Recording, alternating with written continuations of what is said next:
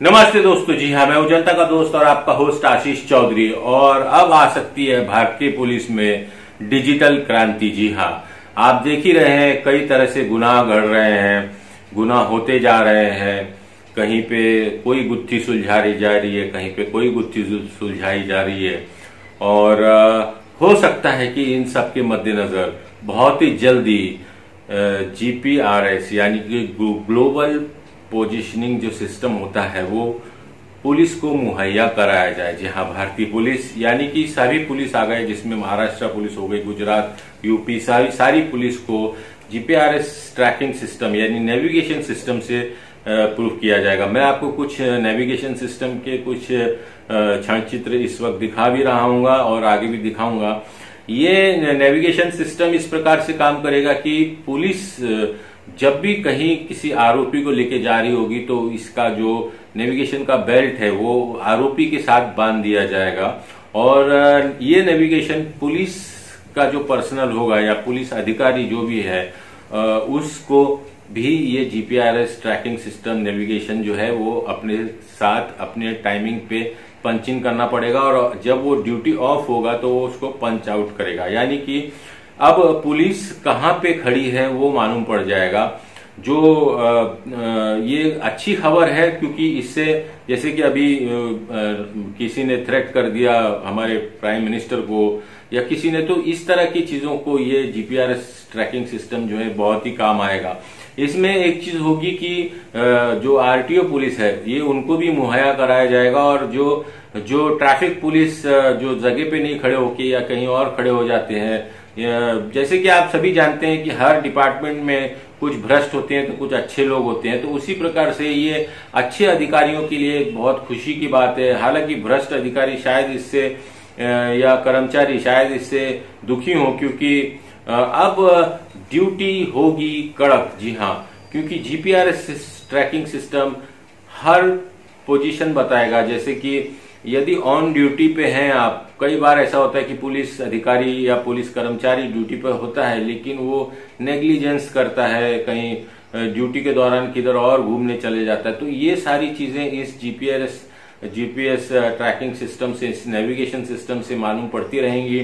Police का हर अधिकारी, हर कर्मचारी जो है, वो अब जीपीआरएस ट्रैकिंग सिस्टम से की निगरानी में हो सकता है। ये डिजिटल क्रांति बहुत जल्दी भारतीय पुलिस में भी शामिल हो जाएगी। जी हाँ।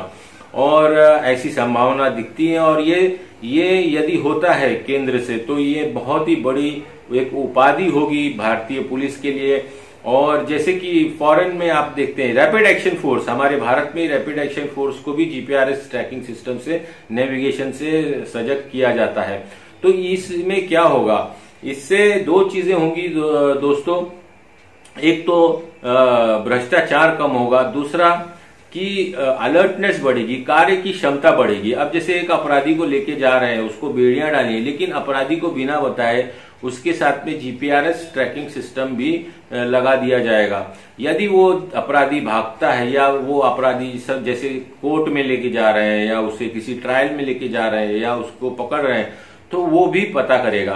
दूसरा, ये जीपीआरएस नेविगेशन सिस्टम जो है, ये फेक एनकाउंटर्स जिस तरह से लोग लगाते रहते हैं मतलब कई मीडिया बोलती है, कोई मीडिया बोलती है, ये फेक एनकाउंटर था, वो था। तो इससे पुलिस बच सकती है।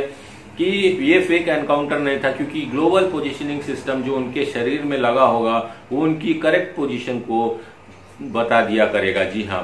और ये सारा सिस्टम जो है, वो कंट्रोल सेंटर से होगा। जी हाँ। और इसका, ये बहुत बड़ी डिजिटल क्रांति होने वाली है। जी हाँ दोस्तों रोड ट्रैफ़िक पुलिस के लिए जो बाकी के पुलिस पर्सनल हैं जैसे कि कांस्टेबल हो गए इंस्पेक्टर्स लेवल हो गए डीसीपी सीपी सभी के पास ये जीपीआरएस ट्रैकिंग सिस्टम सभी के पास लगा रहेगा।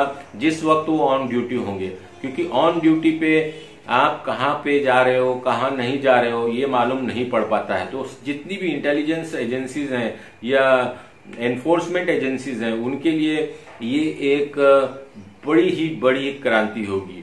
तो जी हाँ देखते हैं दोस्तों आगे ये क्रांति कैसे काम आती है। हालाँकि इसमें आ, कई बार ऐसा भी होगा कि जो झूठे आरोप पुलिस पे गढ़ देते हैं, वो भी आरोप जो है वो सामने आ जाएँगे। और जीपीआरएस ट्रैकिंग सिस्टम जो है वो अब पुलिस को रखेगी सतर्क। जी हाँ क्योंकि पुलिस को सतर्क रहना पड़ेगा, क्योंकि उसको मालूम है कि जीपीआरएस ट्रैकिंग नेविगेशन डिजिटल क्रांति में वो भी कहीं ना कहीं दिख रहा है।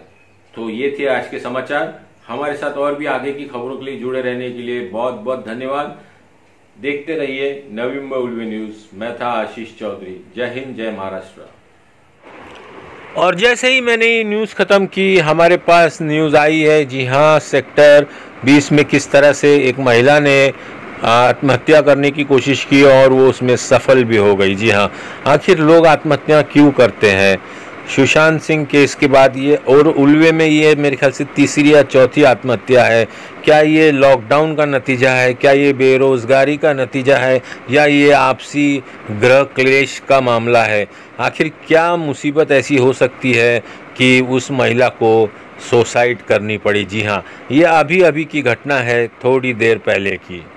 पोस्ट आशीष चौधरी, और यदि आपको पत्रकारिता चाहिए, चाटुकारिता नहीं चाहिए तो हमारे चैनल को सब्सक्राइब कीजिए, सब्सक्राइब का लाल बटन दबाइए और घंटी का बेल ऑन कीजिए।